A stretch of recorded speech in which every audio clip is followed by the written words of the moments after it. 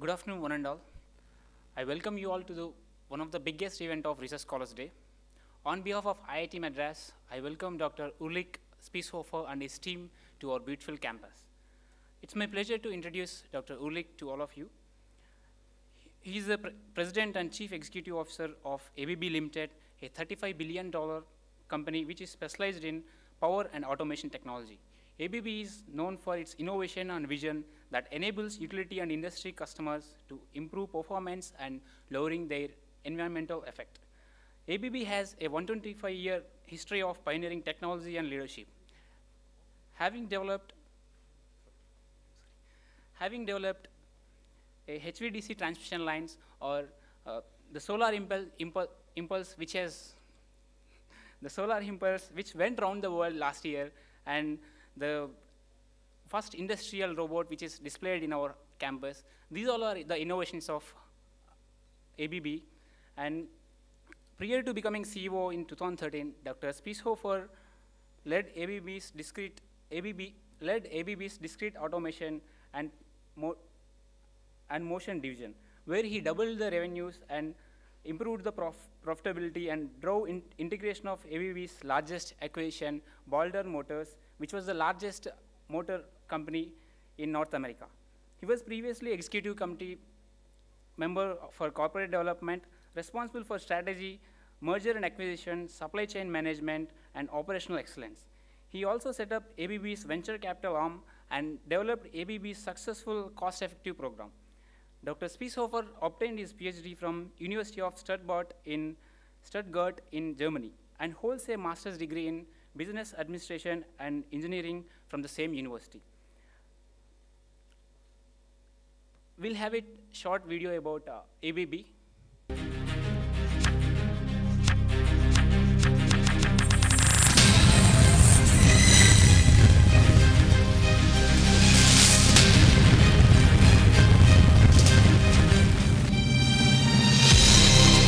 For 125 years, our technology has been driving the modern world.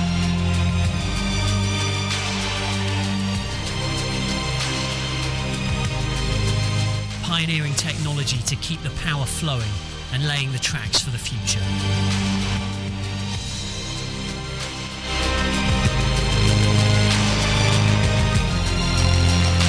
Shaping the fourth industrial revolution to bring people, data and technology together.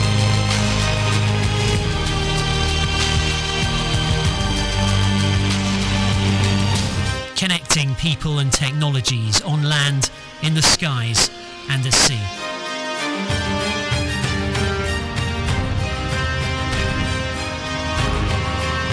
Leading the way in power and automation for utilities, industry, transport and infrastructure.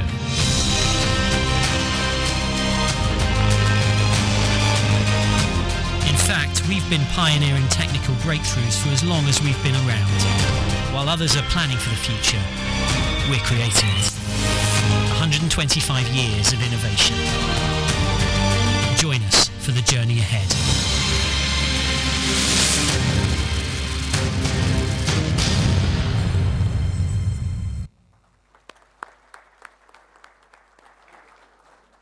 How cool that. How many of you aspire to join ABB? Oh, okay, I'm one among you. Okay, so uh, without much ado, uh, I invite Dr. Spiesshofer to come on to dais and uh, deliver his lecture. Please.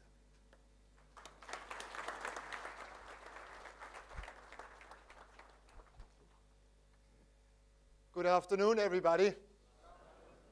Thank you very much for having us today here.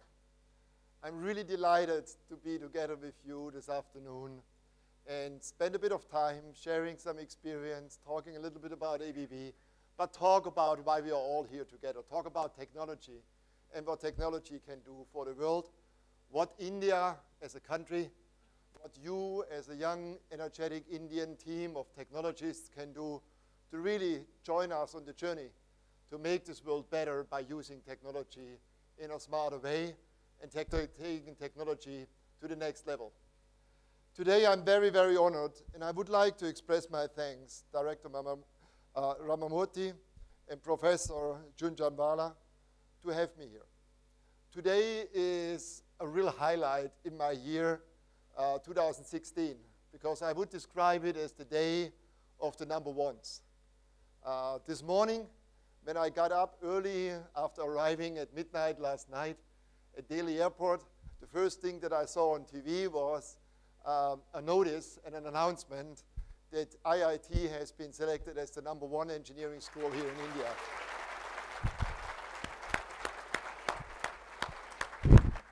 So congratulations to all of you. I think you should be very proud of that achievement and see it as an opportunity to take it in the future.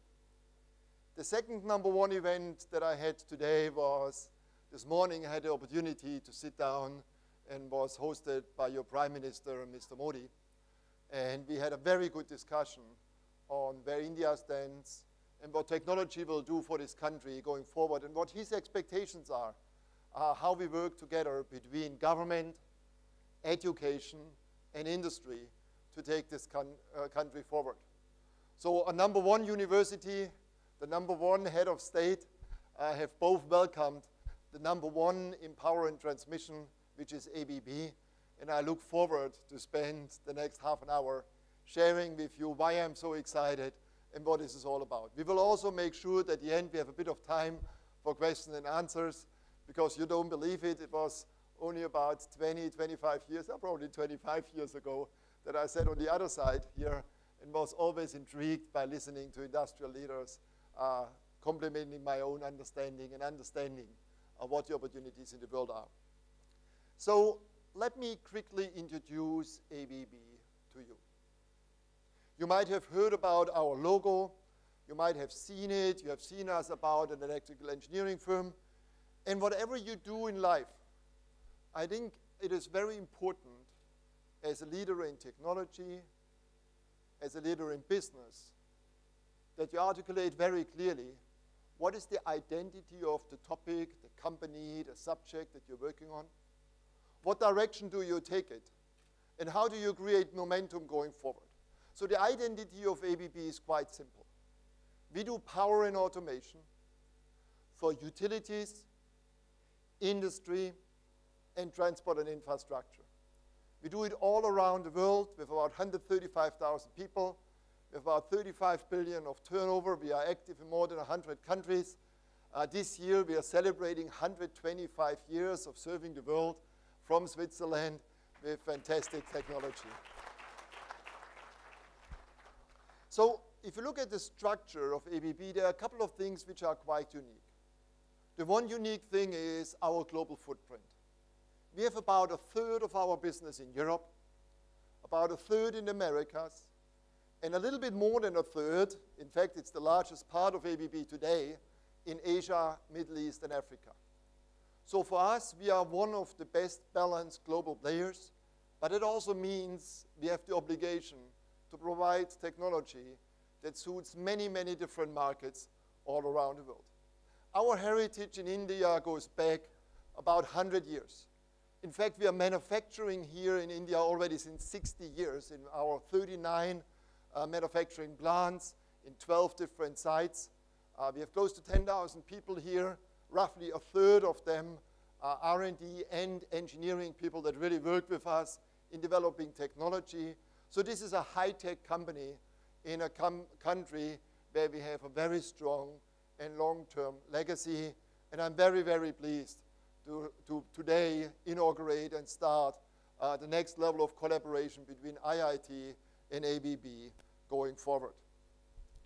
When we talk about India, let's quickly talk about ABB's technology and what difference we have been allowed to make here in India together with our customers. Did you know that 50% of the solar installations in India are powered up with ABB equipment? Whether it's our inverters, whether it's our low voltage technology, we have the best offering between the grid and the point of consumption. We partner with panel providers to make sure we use the opportunities of renewable energy here in this country. Just recently, we opened the first stage of a project that is Northeast Agra, where we are transporting six gigawatt of power over more than 1,700 kilometers from the Himalayas, water power from the Himalayas, to the center of India, to the Agra region. That's a, a first in lifetime achievement. And as a pioneering technology leader that we have always been and will always be, we are particularly proud of the achievements of our strong Indian team here in collaboration with our people all around the world. If you look at the cement plants, 50% of the cement plants that were opened up in the last five years have ABB control technology. So we are not only doing the transmission of electricity, we do also the automation piece of uh, industrial plants.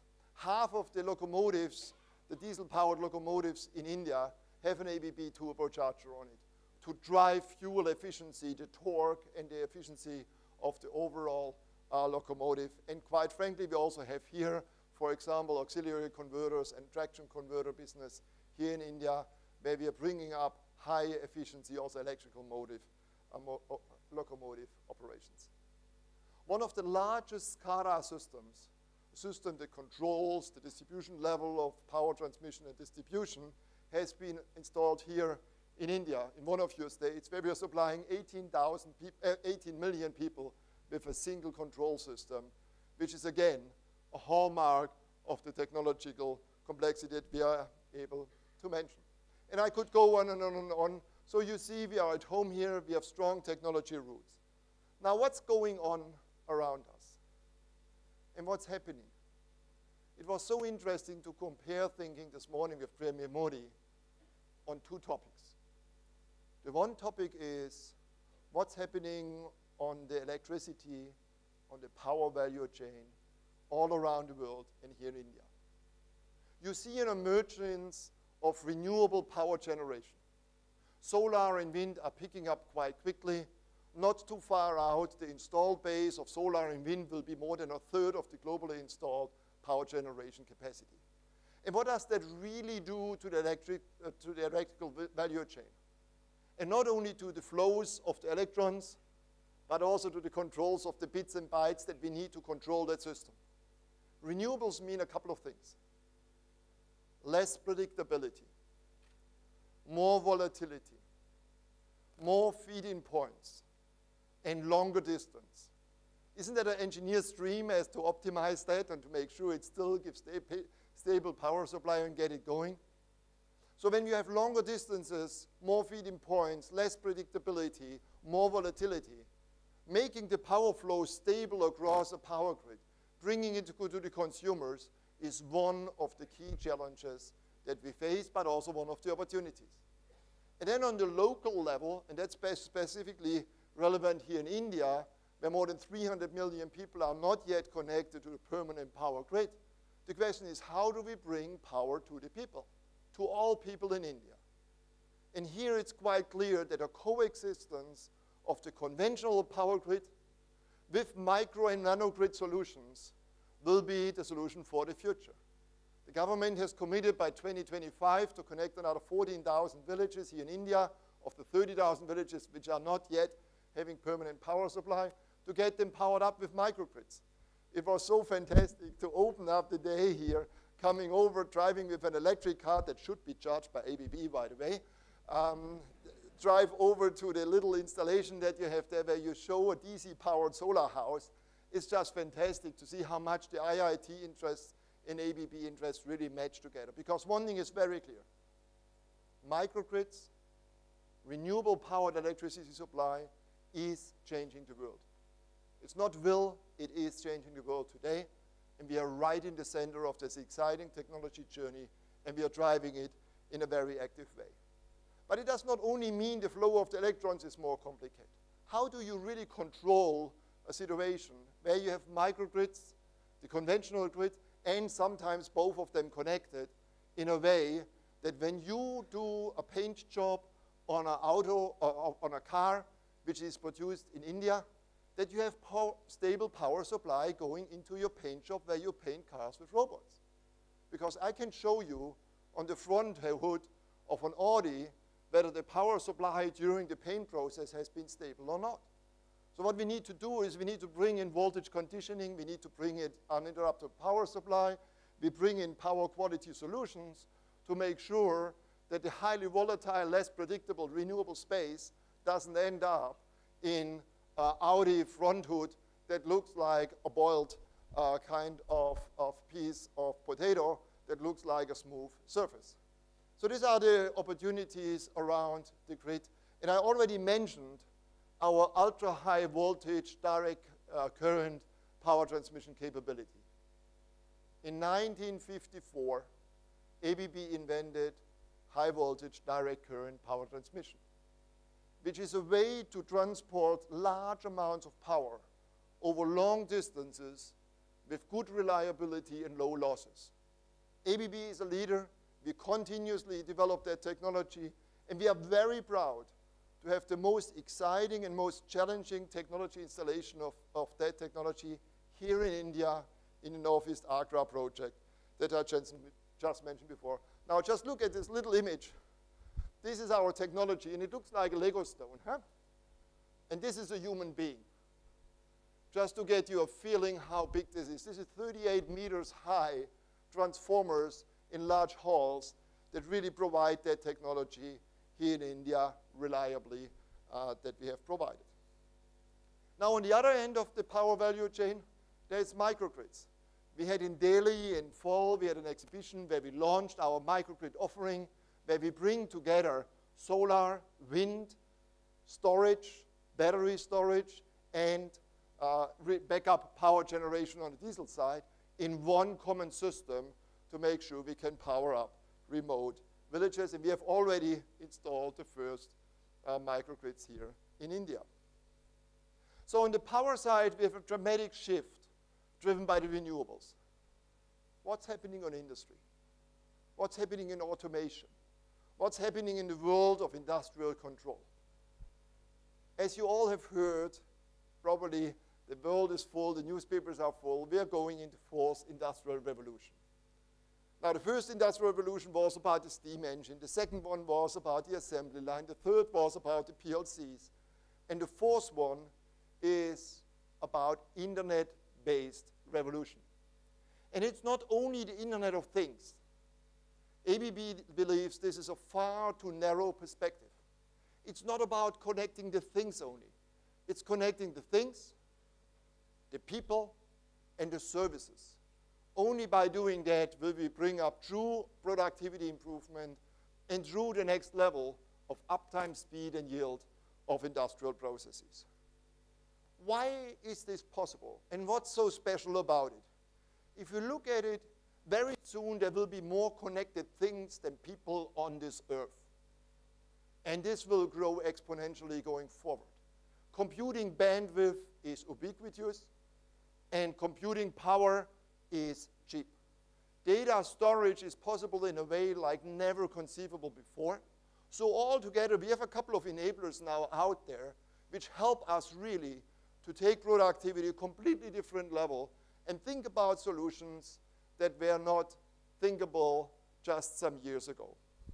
Now let me give you some concrete examples and get your mouth a little bit watery, give you a taste on the technologies that we are already working on and what, technolo what technology could do in the future. First, let me introduce a couple of facts about ABB. We are a $35 billion company more than half of our offering today is already software-based. More than half of our offering is software-based, which means we are active in the, all three buckets of, of software. Embedded software in the devices, control software to control processes, and application software to either support planning or operations of industrial utility or infrastructure assets all around the world. Our smallest application is a small switch. Nowadays, every light switch which is connected to a building control system has a couple of lines of software in it. In our largest system, which is a network management system for a big, complex power grid network, for example, of the state of New York, has more than 5 million lines of software. And that's comparable with the software complexity of a commercial airliner of its entire control system that you have out there today. So we are right in this center, we are right in this space since many, many years, and we take the opportunities forward to provide more value to our customers. One example, and I'm really happy that we have the demo outside and invite you all to look at it later. Uh, we have revolutionized robotics. Robot, robots used to be in a cage because they were dangerous, orange painted because it's a hazard, and really something very, very difficult to program. YuMi, our new robot, is changing all three paradigms. Number one, it's out of the cage because it senses when you get too close and it stops the operation. Number two, it's a friend because you can program it very simply by guiding the two arms and take a software, self-learning software that optimizes itself in terms of the movement and accuracy to really get going.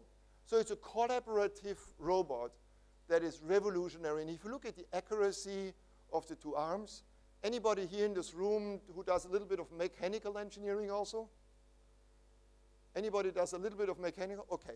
So how difficult is it to take two seven axle arms and make them so accurate that you can put the, the, the thread through the needle? Very difficult, huh? We did it. And that's something that is quite unique. This, this product is so revolutionary. We showed it last year at the Hanover Fair. And you see here, we had uh, German Chancellor Merkel, we had Prime Minister Modi coming to our stand. We took quite a bit of time uh, to learn about it. And I can tell you, that was one of the scariest moments of my life. Because the German Chancellor, she asked and said, is this really safe? I said, yeah, yeah, it stops when you touch it. And she said, okay, let's try it. And you know, you know what she did? She took two fingers, and the robot has a gripper that does that. I told her when she touches it, it stops. She said, no, no. She put the finger in the gripper. And thank God the headline was not ABB cuts the chancellor's fingers. Uh, the headline was ABB produces a collaborative safe robot. So thank God the technology went well. And this is a, this is a hallmark of the way we do technology. This robot was done by a combined team of Chinese, German, and Swedish colleagues. This robot was done in a collaborative approach between some startup, younger technologists, together with some very experienced people. And it's now being used and applied in all the countries of the world, and you see it outside. It recently, in the February Make in India fair, we had it again here in India. We showed it together with Prime Minister Modi. It's a fantastic opportunity to demonstrate true technology leadership. Now, these robots are one example of what you can do in the modern world of the Internet of Things, Services, and People. Let's just theoretically close your eyes quickly. Imagine you have two of these robots standing somewhere in a robot factory, let's say in France. On the one arm of the robot, the bearing in the third joint starts to rattle and vibrate a little bit. In the joint, there is a vibration sensor. That vibration sensor goes via the IP address of the robot with a signal to our remote service center here in Bangalore in India, where we control today thousands of robots uh, remotely. It brings in the signal, and that signal is being read and compared against the repository of all operating signal that we have ever collected on robots. And with some predictive uh, uh, analytics, we look at the signal and say, okay, based on the learning that we ha have had before, within 70 hours, this robot will break down if you don't do something. Then the software dispatcher and, and the remote service uh, dispatcher automatically goes another software package and looks which service technician is close to this robot in France. We see he's very close, but there's a lot of traffic around. So our automatic traffic guidance system is being used to take this robot service technician fastest to the place of the service job. And whilst he is going there, he gets the disassembly instruction for that specific kind of failure or potential failure played on his iPad. He takes his iPad, walks into a factory that he has never been in before, puts it on video streaming, swipes it around, and the safety instructor in the remote service center recognizes two safety hazards which the person itself might have overlooked. That's the Internet of Things, the robot, the services, the maintenance, and the person. That's what we can do today to really drive industrial productivity using the internet, using the things, using data to really get forward and drive productivity in industry to the next level. Now, the Bangalore Center, and you will see it outside, we have in the little demo booth, you can see that, is not only connecting robots, it's connecting motors, it's connecting PV plants. So all around the world, this operating data of industrial assets, whether they're in the plan or the operate phase, come together. And we use them in a smart way, using on the one hand, the data storage, the remote service capabilities, but then really the smart, smart technological uh, innovation power that we have here in India in our team to really read this data and program the right algorithms and to make sure we understand what needs to happen to drive uptime, speed, and yield in industrial processes. So that's an example out of the discrete industry. Let's go to another example. We have a collaboration with BMW and many other car OEMs where six years ago we started a venture. We said the world of mobility is going electric. And ABB wants to be a partner of the OEMs. So we did a startup on electric mobility charging infrastructure. We put our own people there, and we realized very quickly that certain capabilities in terms of the B2C, the consumer interface, the fleet operations, the billing, we didn't have the right kind of competences in ABB. So we bought another startup company in the Netherlands with about 80 people, and we put them together with the ABB team. We ripped the ABB team out of the ABB offices and put it in the, in the bus garage in the Netherlands where we really had the startup team going. So we did not take the startup team out of the startup. We put the ABB people into the startup environment and got them going. Then we realized very quickly, after a couple of years of pilots and getting this business up to speed, there's a vast amount of data.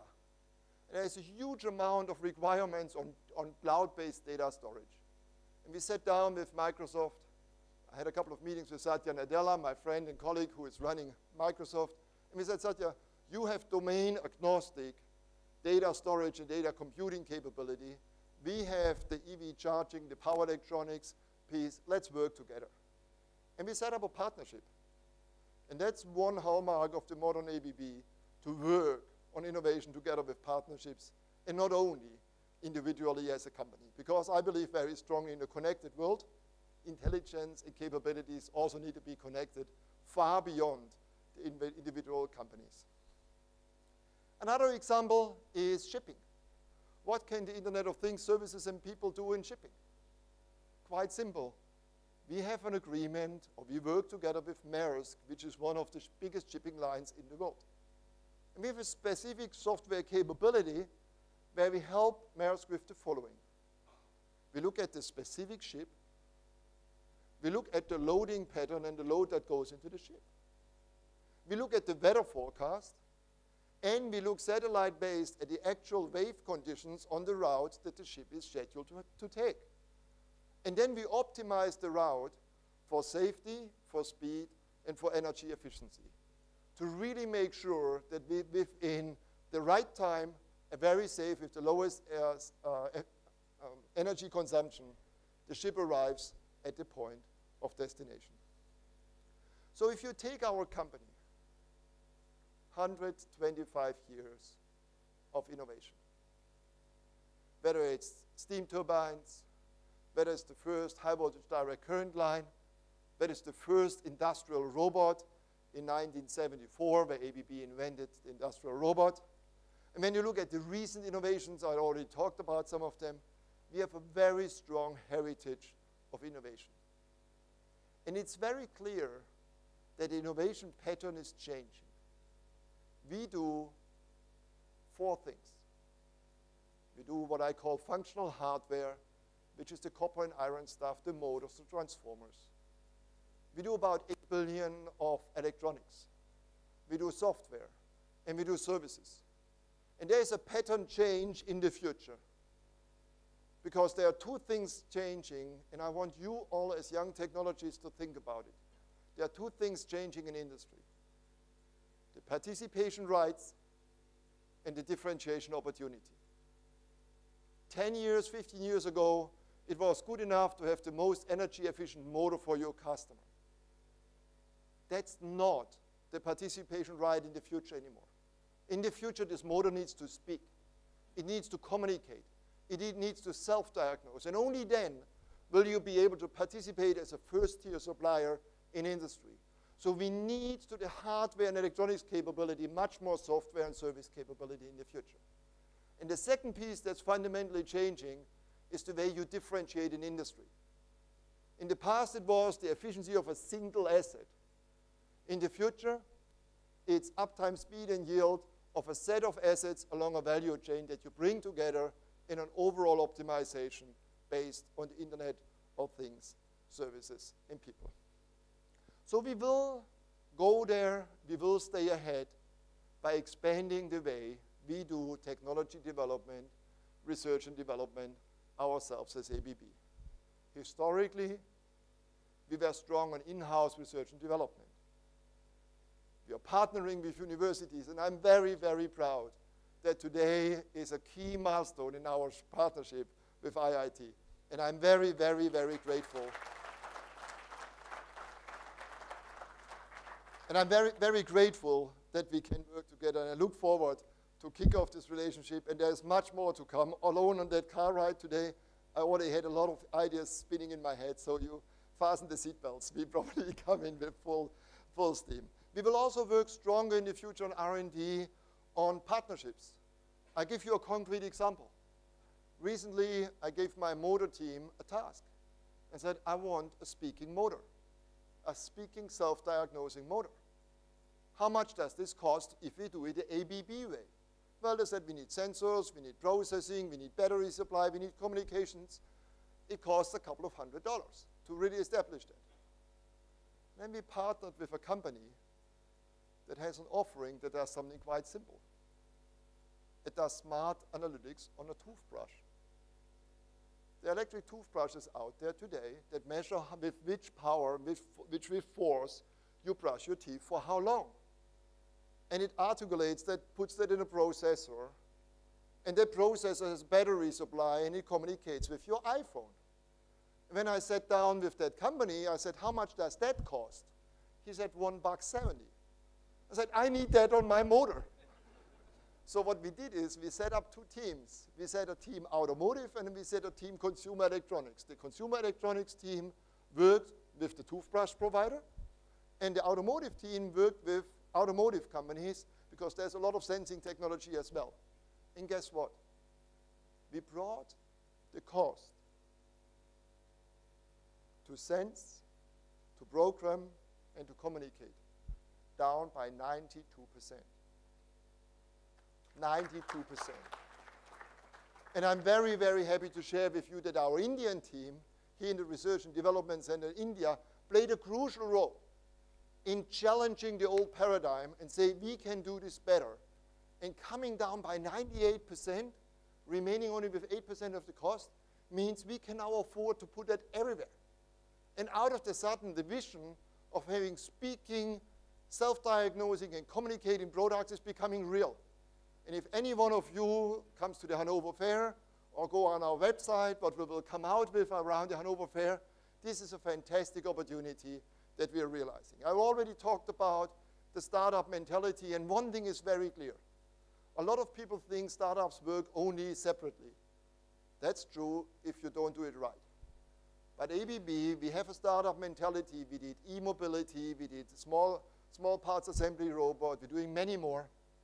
And if you do it right, we might provide an easier start because when you take our platform, you don't need to worry about how you pay your people, how you pay your taxes, how you do the financial uh, accounting. All of that can be provided. And it's an easier up because we have the supply chain, we have the logistics that allow you to grow your business. So we will continue to spend significantly on R&D to invest about $1.5 billion a year to stay at the forefront of technology development. We will increase our global footprint of research and development. Today, about a third of our 10,000 Indian colleagues are in research and development and engineering. That will be more. So India will continue to play a key role going forward. We will complement our own activities ongoing with partnerships. I already mentioned some before, whether it's global companies, whether it's local companies, we are partnering for better cu customer value. So for example, on the microgrids, ABB will not do the battery technology itself. We are partnering with BYD and Samsung. On solar, we will not do the panel ourselves. We are partnering with some players. So that's the basic logic. So our technology pattern will be one where we plug in with different ecosystems and make sure we have complementary skills to drive innovation. But one thing is also very clear. We will need to keep investing in the unthinkable, into pioneering startups, into fields that we don't even dare to dream about what comes out in the future. We have a technology venture fund that I set up in my previous, previous role in ABB, which is aimed at tapping technologies of the day after tomorrow to really make sure we stay on the forefront. And we are investing there in different areas. One investment that we have done together with Elon Musk and a couple of others is a company called Vicarious in artificial intelligence. And these guys dream about self-learning processes, self-learning machines. And I sit down with them uh, every now and then. And recently I sat down with them a couple of weeks ago one more time. And it's absolutely mind-boggling what's coming and at what speed. When you see now a computer beating the world champion in Go, then you know what will be possible in the industrial environment, and we will stay at the forefront. Another example is the combination of 3D printing and robotics. In a couple of weeks' time, we will be printing and robot assembling a bridge. So in the Netherlands, there is a river, and on the side of the river will be two things. There will be a robot, or a set of robots, and a 3D printer. And they together will build a bridge over this river. We have already done it in a pilot. We have already done it in a pilot and we'll do more of that in the future. So when we look at where we are as ABB and where we are going, I hope I got you a little bit of my excitement about the technology base shared today, that you understand how wonderful it is to work in the field of power and automation how attractive it can be to work in the environment of the big shifts on the electric value chain and on industry, and to tap the opportunities that we have. Because a couple of things are very clear. The fourth industrial revolution is for real, and it's not stopping at the factory, it's going everywhere, even in offices. ABB will stay at the forefront as a technology leader. And with the right team, globally and here in India, together with our local team, with partners like IIT, we will be able to tap the opportunities to create more value for our customers going forward. And I would be very much looking forward to invite all of you to be part of our journey. Thank you very much.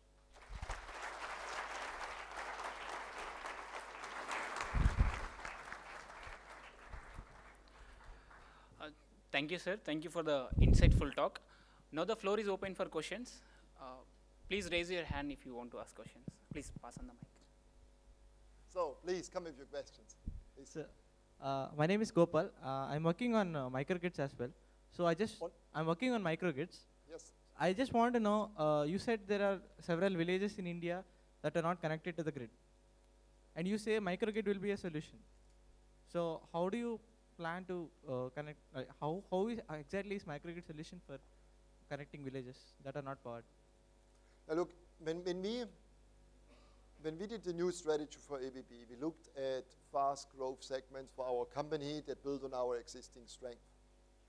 There is a billion people in the world, one billion, which are not connected to permanent electricity supply. And a significant part of that population is based here in India. Now you have a choice how to, how to bring these people the benefit of electricity and let them participate in prosperity and wealth that, that this brings. You can either expand the existing grid or with the, with the upcoming of affordable renewable power generation, with the cost of battery storage coming down, and the efficiency of electrical appliances also going up significantly to have affordable off-grid solutions. So an affordable off-grid solution that we offer is a combination of a solar cell and a power supply to the point of consumption. And in the simplest term, and we saw that today, uh, it's a DC to DC power, power supply. You have a DC cell, you bring the DC cell to a DC charge point for your mobile phone, to a DC TV set, and off you go. But when you grow up a little stronger and you have multiple houses connected, you need to think about how you bring that together. So you need to have a stronger control capability. And with our PLC-based control, we have that. You need to think about what do you do at night uh, when the sun is not shining. So you need to think about whether it's battery storage or whether it's a diesel backup, how you bring it together. And if you do that, you need to have the right control algorithms in there. So all together, the, the, the supply pattern can be renewables combined with storage, or renewables combined with storage and backup, or only renewables combined with diesel. And on the, on the consumption side, it really depends on the quality of power that you want. It's quite simple to power up a fridge, and it's not that simple to power up a computer in terms of the voltage quality or the, or the power quality that we want to have, and that depends. And so basically, you need a supply pattern which is renewables plus conventional plus storage. You need a control element that controls the whole uh, power uh, supply and demand pattern. And then you need to make sure you make the power accessible at the point of consumption. Now, the microgrid phenomenon has been historically, a lot of people smiled at, and very often we had solutions where it was uh, remote conditions. We have a microgrid on Kodiak Island in Alaska, where historically uh, it was renewable, it was solar and wind, and it worked quite well for this small village until they bought a new harbor crane. And when they bought a new harbor crane, the whole microgrid went down, and every time the city or the village blacked out, when the harbor, grid, when the harbor crane moved its arm. So what did we do? We found an alternative way of energy storage that allows you to take off vast amounts of power very quickly. That's a flywheel. So we basically combined solar and wind, plus a flywheel that was specifically used for the movement of the harbor crane, and out of the sudden, the grid was stable again.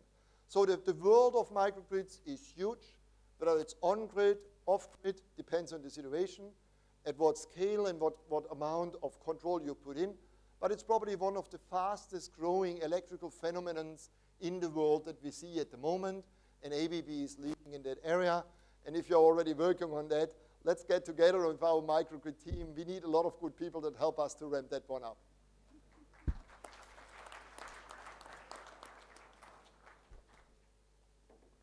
Good evening, sir.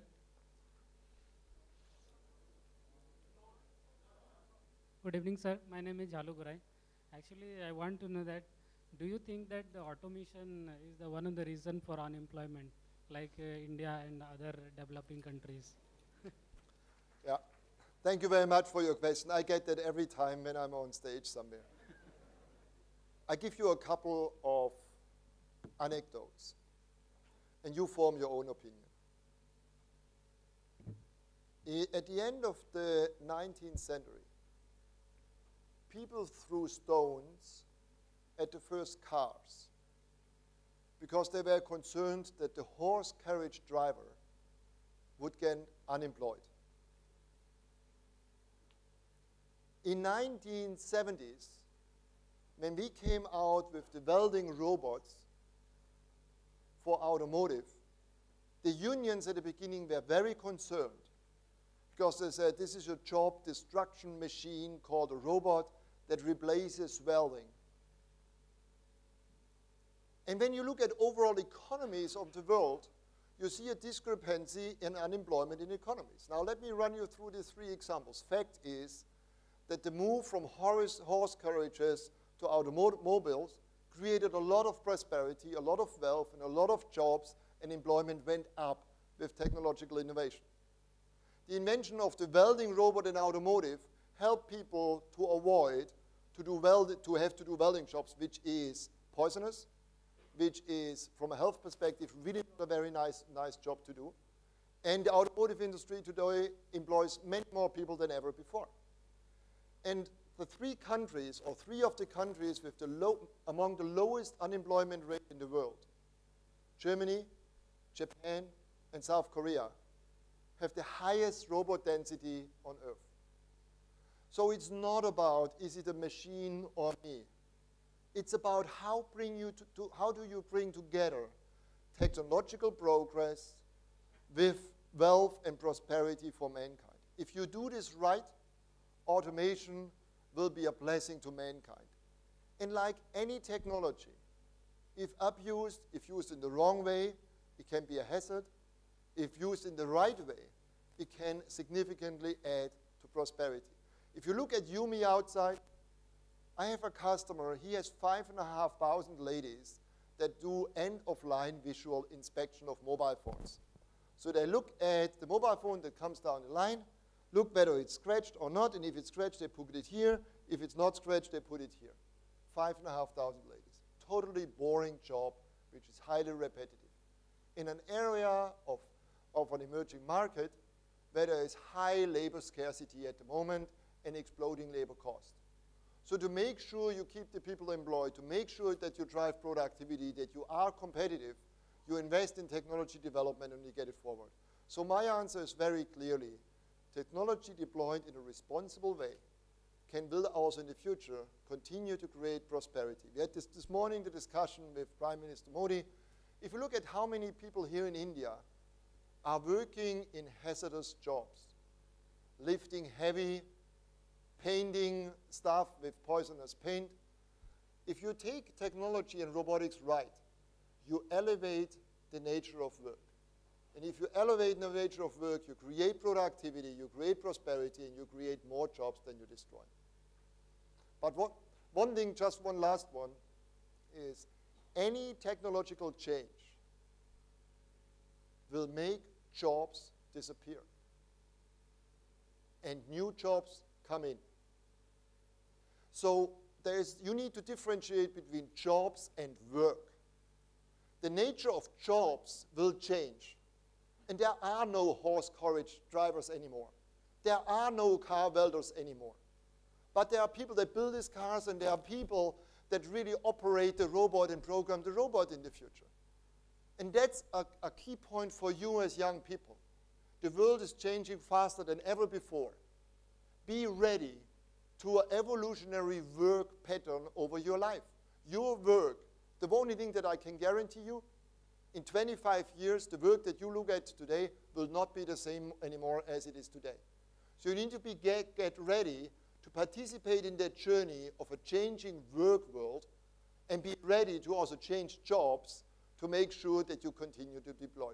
So your institution has an absolutely fantastic opportunity to help young people to get going. But I think it's as important in the future to have lifelong learning and lifelong training because also for 40, 50, 60 year old, the nature of work will be changing. So it's our responsibility between education, industry, and politicians to make sure that in the, in the fourth industrial revolution, and maybe there's a fifth something coming, we take people with us. We take them forward. We make sure they prosper, and we support them with the right education and training. And then I'm very, very optimistic that also in the future there will be a lot of work for people in a changing pattern.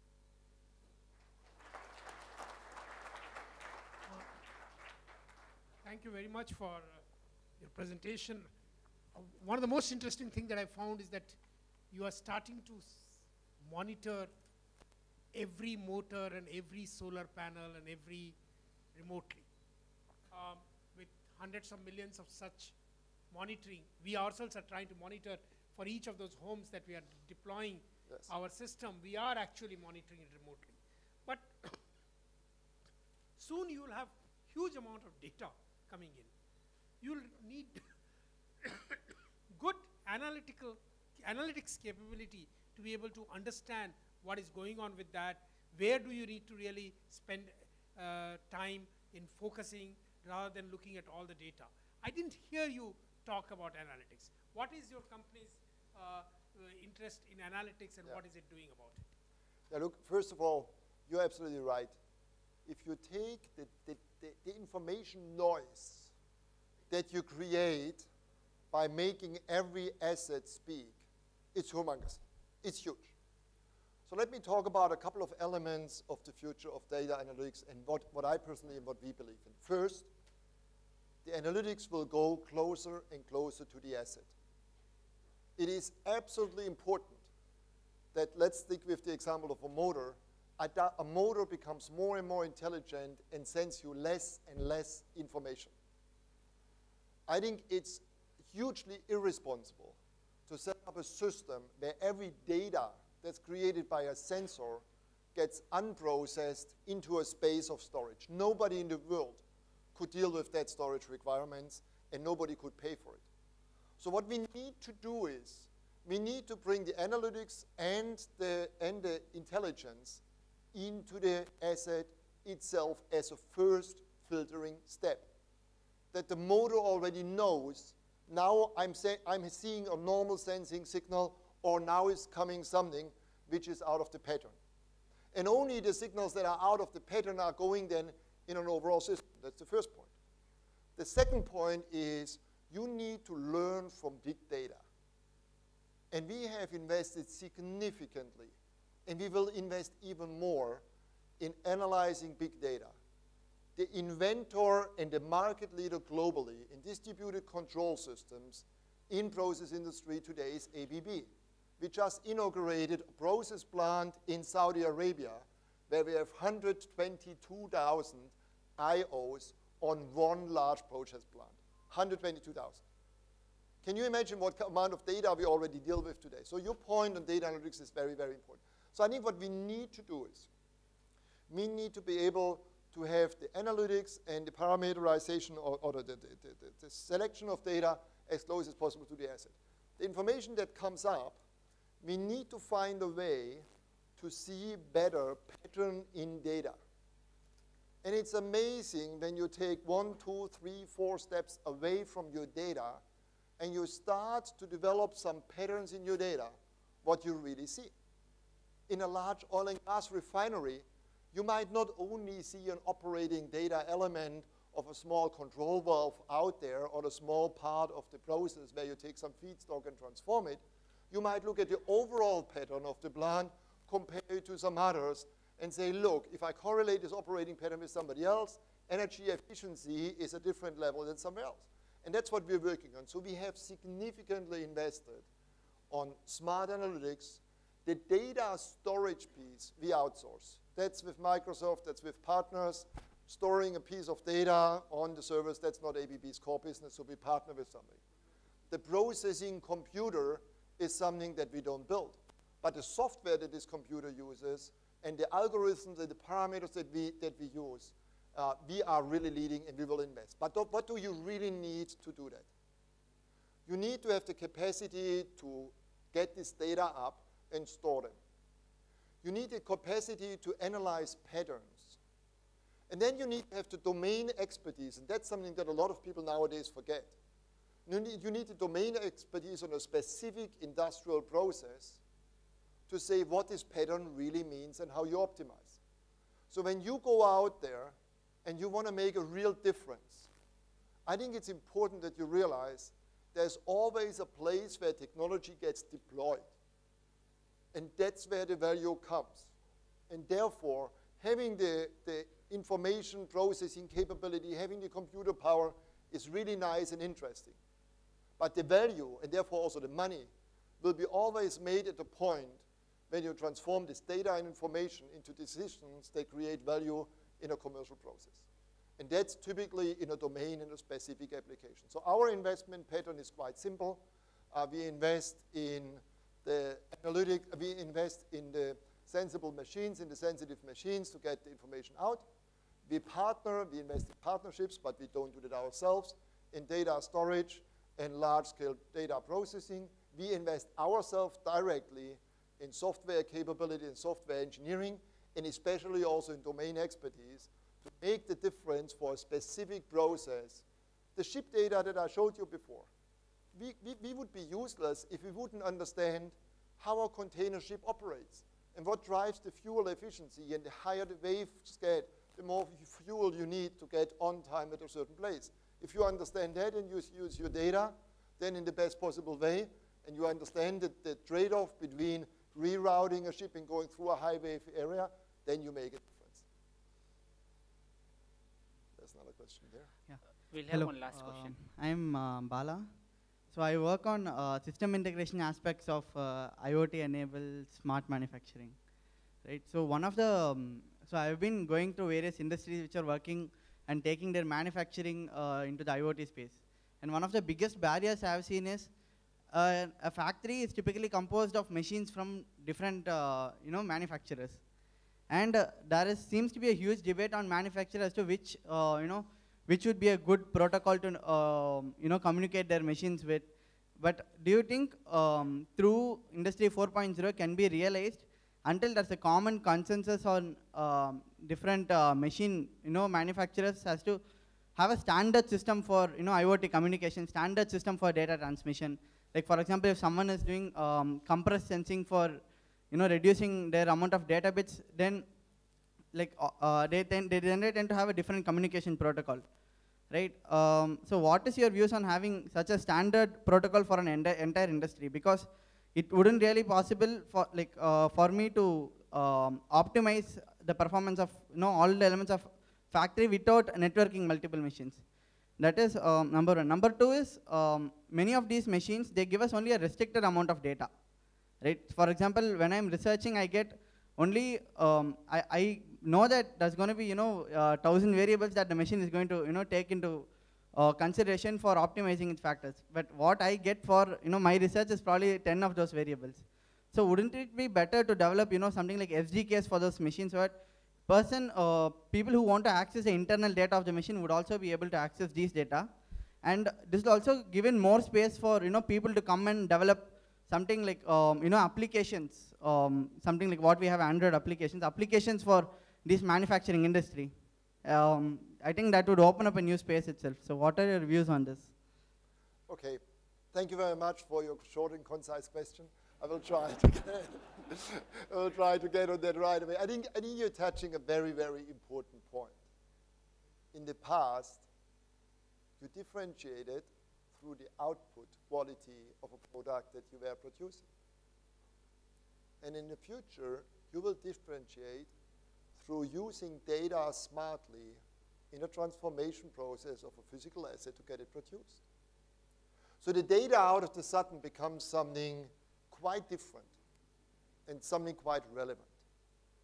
Now, when you, when you travel around the world as a CEO of an industrial firm like ABB, you see interesting patterns. You see startups in the Silicon Valley that couldn't care less who sees their data, who have come up in a sharing community and have a completely different mindset. I can tell you, I have, I have two teenagers at home, my 14 and my 16 year old. When they go on a party somewhere, the first thing that they do, they put the party pictures on Facebook and show them around. I would have never done that in my generation. Nowadays, it's something normal. So, so we need to be aware that we, we have a generation coming in that, don't understand why we wouldn't share and why we wouldn't work together and why we wouldn't open up. So that's one element that, that we need to manage.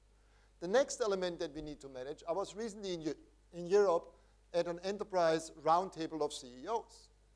And I was the CEO of a large German competitor of ABB. And he said, he really said, we need to protect Europe.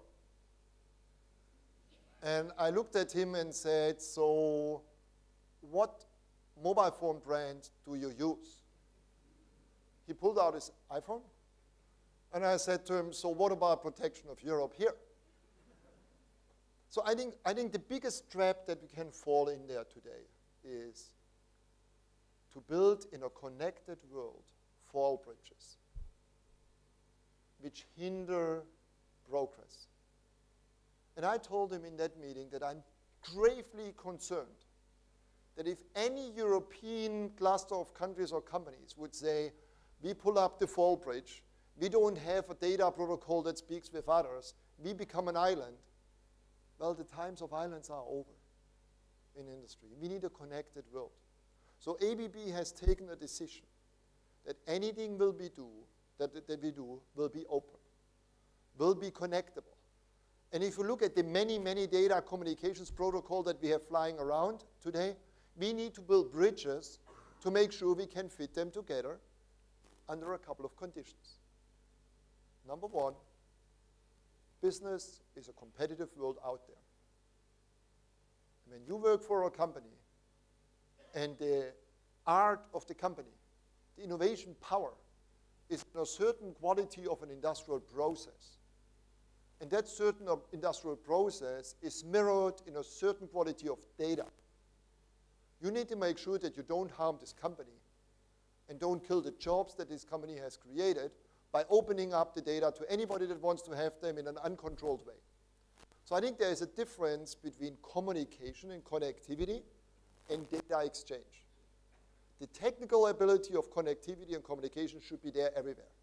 From my perspective, we need to have a globally connected world where the connectivity is there, and then people need, need to be able to decide themselves what do they want to make accessible or not. If you are invited to help a company with the next level of manufacturing, and the company doesn't open up to you, you will not give them the productivity increase that you want.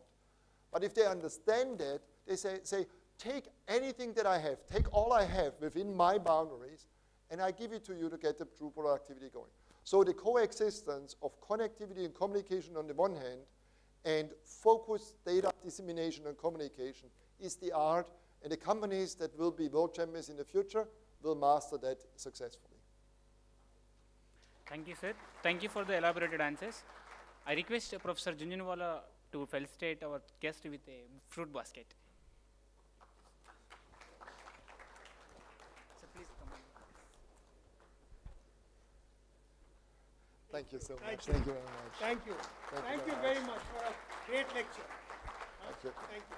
I request uh, Professor Bhaskar Ramamurthi pro- to fel- felicitate our chief guest with a memento. Please come, sir.